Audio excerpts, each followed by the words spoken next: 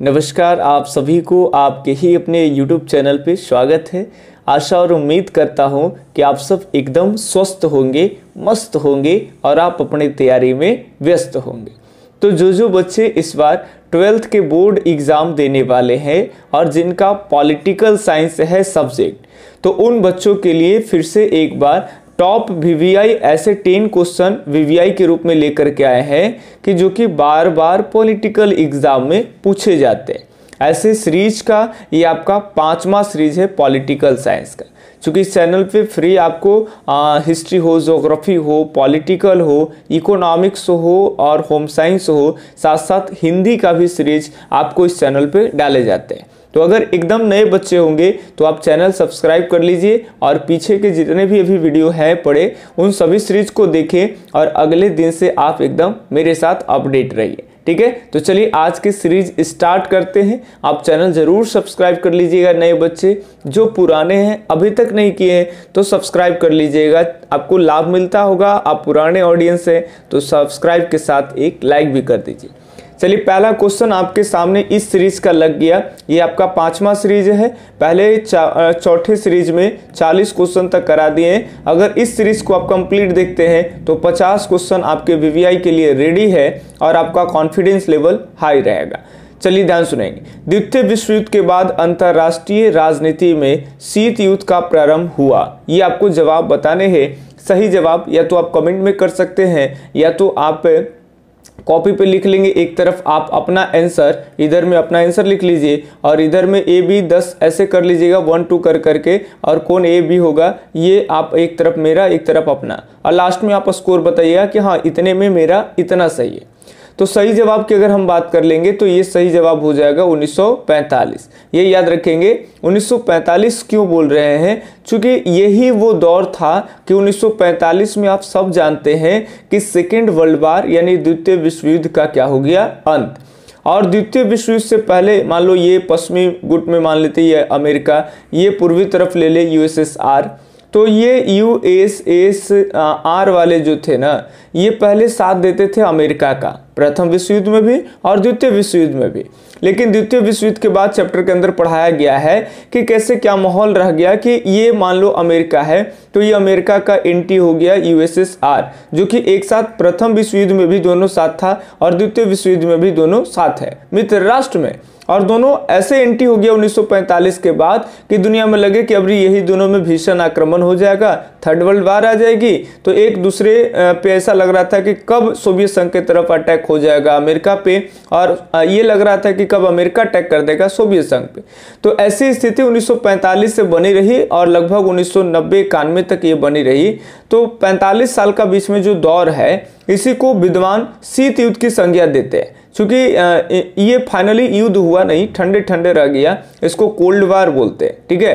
तो ये आपका सही जवाब होगा, ए ऑप्शन 1945 के बाद से वर्ल्ड में अंतरराष्ट्रीय राजनीति में शीत युद्ध क्या हो गया? प्रारंभ हो गया। तो फ़र्स्ट का ए ऑप्शन बिल्कुल सही है। अब बढ़ते हैं आज के सीरीज़ का सेकेंड प्रश्न। बहुत ही बढ़िया और प्यारा सा प्रश्न है, इनके बारे में आप जानते होंगे, शेख हसीना जुल्फो वाली।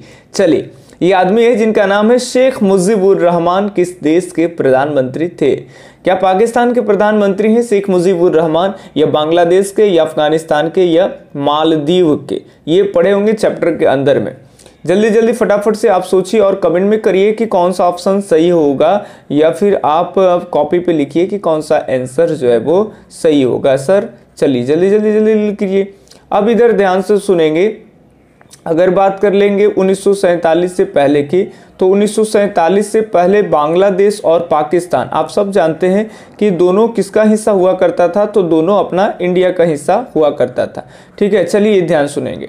अब ये वाला जो भाग आप देख रहे हैं, इधर जहाँ पे एरो जा रहा है, इधर गौर करेंगे। चलो दूसरा कलर ले ले ताकि आपको स्पष्ट दिखाई पड़े। एक मिनट। अब ये जो हिस्सा देख रहे हैं आप, ये हिस्सा पहले हमारा बंगाल का भाग था और ये हमारा इधर पश्चिम बंगाल हो गया है तो ये बंगाल था, जिसमें बाद में बिहार वगैरह अलग हो गया था, उड़ीसा। तो बंगाल ऐसे उन्नीस में बटा कि ये बंगाल का ये जो हिस्सा देख रहे हैं ये इसको मान लीजिए पश्चिमी हिस्सा, ये पश्चिम बंगाल हो गया राज्य जो कि भारत में आ गया।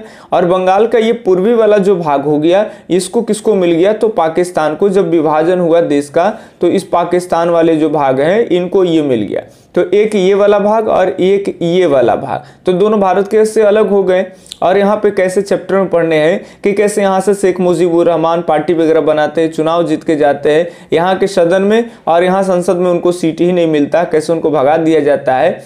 तो फिर उनके नेतृत्व वगैरह में यहाँ पे क्रांति होती है। पाकिस्तान को लेकर के काफ़ी सारे शरणार्थी भारत में आ जाते हैं। भारत में इंदिरा गांधी का शासन होता है। कैसे Indira Gandhi, iron lady, Pakistan sorry, Bangladesh को पाकिस्तान के चंगुल से स्वतंत्र कराती है। 1971 की बात है। ये ध्यान सुनेंगे। तो 1971 में जब बांग्लादेश स्वतंत्र देश बन गया विश्व में तो इसके पहले जो प्रधानमंत्री थे, वही पहले प्रधानमंत्री बने शेख मुजीबुर रहमान। और तो आपसे प्रश्न है कि शेख मुजीबुर रहमान किस देश के हैं भाई? प्रधानमंत्री तो बांग्लादेश सही जवाब हो जाएगा। तो सेकंड का बी ऑप्शन बिल्कुल राइट है। अब बढ़ते हैं हम लोग अगले प्रश्न की ओर। अगर सीरीज़ से आपको लाभ मिल रहा होगा तो एक लाइक ज़रूर कर दीजिए और हो सके तो आप अपने दोस्तों के पास में शेयर भी कर दीजिए जल्दी से फटाफट वीडियो रोक के। चलिए अब तीसरा प्रश्न है आपके सामने कि भारतीय योजना कब समाप्त कर दिया गया? जो बच्चे पहले से सीरीज़ देख रहे हैं, वो उनको मालूम होगा, क्योंकि ये एक रिपीट क्वेश्चन लिए हैं ताकि आपसे बनता है कि नहीं। पिछले सीरीज़ में इसका डिस्कस किए थे, क्या उन्नीस सौ सैंतालीस में या उन्नीस उन्नीस में या फिर 1980 में 2007 में या 2014 में? सही जवाब की अगर बात कर लेंगे तो ये हो जाएगा कि भारतीय योजना को कब समाप्त किया गया है? तो 2014 में समाप्त किया गया है। यानी डी ऑप्शन सही है। रीजन पूछो हमसे। तो आप जानते हो कि पहले पंचवर्षीय योजना चलता था और पंचवर्षीय योजना के 2014 में ख़त्म हो गया और फिर एक जनवरी 2015 से अगर बात कर लेंगे तो नरेंद्र मोदी का शासनकाल आ गया था भाई और वो प्रधानमंत्री थे और इन्होंने के समय में नीति आयोग कर दिया गया। पंचवर्षीय योजना के जगह पे कौन आयोग हो गया? नीति आयोग। तो थ्री का डी ऑप्शन एकदम राइट है। फटाफट से अब जानकारी आपको देना है कि फोर प्रश्न के ऊपर में किस देश में, निम्न में से किस देश में स्वतंत्रता के बाद सफलतापूर्ण लोकतंत्र कायम? इन सभी देशों को आप ध्यान से देखेंगे जहाँ पे सफलतापूर्ण जो है वो आपका लोकतंत्र डेमोक्रेसी चल रहा है। क्या पाकिस्तान है, बांग्लादेश है, श्रीलंका या इनमें से कोई नहीं? तो आप सब जानते हैं कि पाकिस्तान और बांग्लादेश का किस तरह से आज़ादी के बाद भी कैसे संघर्ष चलते रहा, कभी सेना का शासन, कभी कुछ का, पाकिस्तान वगैरह देखे। तो कहीं लोकतंत्र अगर है तो भारत में भी है, लेकिन भारत का ऑप्शन नहीं है। तो सही जो जवाब हो जाएगा, वो आपका हो जाएगा श्रीलंका, ठीक है? तो फोर का यहाँ पे सी ऑप्शन एकदम राइट है। फोर का सी ऑप्शन क्या है सर? राइट है। अब बढ़ते हैं, फाइव नंबर प्रश्न, मात्र और पाँच प्रश्न बच जाएँगे, इसके अलावा जल्दी जल्दी देखेंगे। सीरीज़ से कहीं जाइएगा नहीं, एकदम मन मार के आपको देख लेना है, तभी प्रश्नों पर अभ्यास हो जाएँगे। ठीक है? कोई भी प्रश्न जितने करा रहे कोई भी प्रश्न आपकी से आ सकते हैं तो इसलिए ध्यान से देखना है। भारत में लौह पुरुष की संग लौह पुरुष की यहाँ पे संख्या लिखा हुआ है, संज्ञा आप समझिएगा कि लौह पुरुष की संज्ञा किसे किसे दी गई है, यानी किसे दी गई है, ये बड़ी मिस्टेक है, आप देख लीजिएगा। लौह पुरुष की संज्ञा किसे दी गई है? महात्मा गांधी को, जवाहरलाल नेहरू को सरदार पटेल को, या इनमें से कोई नहीं? सही जवाब बताइए कि लौह पुरुष किन्हें कहते हैं? आयरन मैन तो सही जवाब हो जाएँगे आपके सरदार पटेल को। ये याद रखेंगे, सरदार पटेल को गुजरात में इनके प्रतिमा वगैरह है, गुजरात से बिलोंग करते हैं। सरदार पटेल जो है, इनको लौह पुरुष की संज्ञा दे गए हैं। बाकी आज़ादी के टाइम पढ़ते हैं कि इन्होंने एकीकरण का जिम्मा संभाला। ठीक है? चलिए। फाइव के सी ऑप्शन सही है। अभी सिक्स प्रश्न है, फटाफट से बताएँगे कि विश्व श्रम संगठन की मुख्यालय कहाँ है? विश्व श्रम संगठन का मुख्यालय कहाँ है? यानी वर्ल्ड इंटरनेशनल लेबर ऑर्गेनाइजेशन समझ सकते हैं आप। International labour organisation. ठीक है? चलिए, वर्ल्ड लेबर ऑर्गेनाइजेशन जिसको कहते हैं डब्लू ये आपका श्रम है तो डब्लू ये विश्व के है, लेकिन इसको बोलते हैं, एक मिनट, चलिए मिस्टेक ना हो जाए। इसको बोलते हैं I L O international labour organisation उसी को कहते हैं, कोई ज़्यादा इधर नहीं है। इसी को विश्व श्रम संगठन की मुख्यालय कहाँ है? लंदन में है सॉरी दिल्ली है, पेरिस है, लंदन है या फिर जिनेवा है? तो सही जवाब हो जाएगा आपका जिनेवा में। जिनेवा कौन से देश में पड़ता है, ये भी आपको कमेंट में बताना है। काई कि पिछले वीडियो में बताए होंगे आपको। तो आपको बताना है कि जिनेवा कौन से देश में नहीं आता है तो गूगल पे सर्च कर करके कमेंट करिए, इससे आपका पकड़ बढ़ेगा। ठीक है? जोड़ दे के कोई चीज़ अगर याद करिएगा, चाहे ध्यान दीजिएगा किसी को जवाब बताइएगा तो वो चीज़ ज़्यादा दिन तक के आपके माइंड में सेव रहते हैं? तो आपको कमेंट में करने हैं, जानकारी है तो नहीं जानकारी है तो गूगल पे सर्च करेंगे कि जिनेवा कौन से देश में पढ़ते हैं। अब साथ में प्रश्न है कि मानवाधिकारों की सार्वभौमिक घोषणा कब की गई? कब की गई मानवाधिकार की सार्वभौमिक घोषणा? ऑप्शन वन है 1945 दूसरा है 1946 तीसरा है चौथा है 1948 सही जवाब आपको बताने हैं कि कौन से ऑप्शन सही हो जाएँगे। मानव अधिकारियों की घोषणा की बात करें तो ये भी आपको पढ़ाया गया होगा। 1948 में याद रखेंगे 10 दिसंबर 1948 मानव अधिकारों की घोषणा की गई। ठीक है? इसमें काफ़ी सारे अधिकारों की बात की गई है। कुछ अधिकार प्रमुख है जो आपको याद रखने योग्य है। बोर्ड परीक्षा में क्वेश्चन के रूप में पूछे जा सकते हैं। चलिए, एट प्रश्न। एट नंबर प्रश्न है कि गुट निरपेक्षता हेतु प्रथम अंतर्राष्ट्रीय सम्मेलन कब हुआ? गुट निरपेक्षता आप जानते होंगे कि एक बना था आपका नाटो और एक बना था आपका वारसा पैक्ट। तो वारसा पैक्ट किसका है? सोवियत संघ का नाटो अमेरिका बनाया था। तो ये दोनों गुटों में से जो लोग अलग अपना गुट की स्थापना किए, नए स्वतंत्र आज़ाद देश थे, उनको कहते एन ए एम गुट निरपेक्ष आंदोलन। तो गुट निरपेक्ष आंदोलन के लिए अंतर्राष्ट्रीय सम्मेलन कब हुआ? उन्नीस सौ सैंतालीस में हुआ 1950 में हुआ, या फिर 1961 में, या फिर उन्नीस में? तो सही जवाब हो जाएगा आपका 1961 में अंतर्राष्ट्रीय सम्मेलन।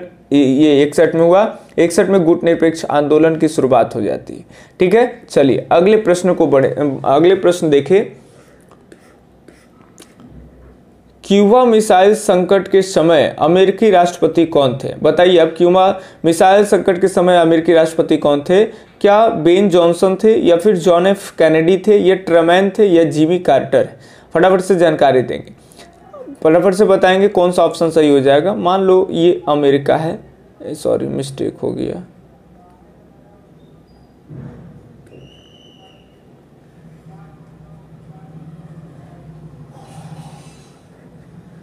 जवाब दीजिए आप फटाफट से, तब तक हम आपको बताएँ। मान लेते हैं कि ये बीच में प्रशांत महासागर थे, यहाँ पे क्यूबा एक देश है, और इधर से सोवियत संघ क्या किया कि ये समाजवादी था क्यूबा तो क्यूबा यहाँ मिसाइल रखने लगा कि मिसाइल संकट हो गया यहाँ पे, क्यूबा मिसाइल संकट उन्नीस सौ बासठ में। उतनी विस्तृत जानकारी यहाँ नहीं दे सकते हैं छोटे छोटे वीडियो में।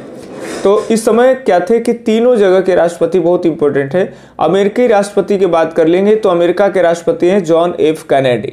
और याद रखेंगे, यहाँ सोवियत संघ की बात कर लेंगे तो उन्नीस सौ बासठ में है। निकिता खुशेव और क्यूबा की बात कर लेंगे तो फिदेल क्रास्तो। अगर आप पढ़े होंगे तो आपको जानकारी होंगे, फिदेल क्रास्तो क्यूबा के और जॉन एफ़ कैनेडी अमेरिका के। तो आपसे पूछा जा रहा है अमेरिकी राष्ट्रपति। तो यहाँ पे बी ऑप्शन सही हो जाएँगे। ठीक है?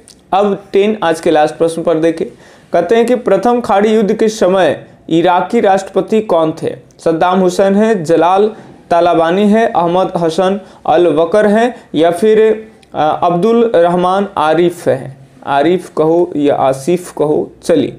तो सही जवाब हो जाएगा, आप सब जानते होंगे। कि प्रथम खाड़ी युद्ध के समय सद्दाम हुसैन इराक के राष्ट्रपति है। और इन्हीं के लाइनें हैं कि आइए अबरी असर अबरी में सौ जंगों की एक जंग इस बार तो साबित होकर के रहे, रहेगी। तो यहाँ पे टेन का ए ऑप्शन सही है। इस तरह से दस प्रश्न हम आपको पॉलिटिकल के कराएँ। सीरीज़ अच्छा लगा होगा तो लाइक भी कर दीजिएगा। और जो आपके मित्र साथी हैं जो आर्ट्स लिए हैं उन पर इस चैनल को शेयर कर दीजिए कोई वीडियो शेयर कर दीजिए ताकि वो भी इस सीरीज़ का ऑब्जेक्टिव लाभ देख सके। जो भी संपूर्ण सिलेबस को पढ़ करके रख दिए हैं, ये पढ़ रहे हैं, पीछे से हर कोई आदमी भूल जाता है तो उसके लिए सीरीज़ में भी आप जुड़ सकते हैं कि ताकि आपका रिविजन होते रहे। ठीक है? और बाकी कमज़ोर बच्चे हैं बार बार सीरीज़ को देखेंगे तो सभी प्रश्न आपको याद हो जाएँगे, और उसके बाद आपको एग्ज़ाम में भी ऑब्जेक्टिव वगैरह में दिक्कत नहीं होगी। तो इस तरह से अगले सीरीज़ में हम मिलते हैं आपसे कुछ नए सीरीज़ के साथ। तब तक के लिए धन्यवाद, जय हिंद, अल्लाह हाफिज राधे राधे आपका दिन शुभ हो।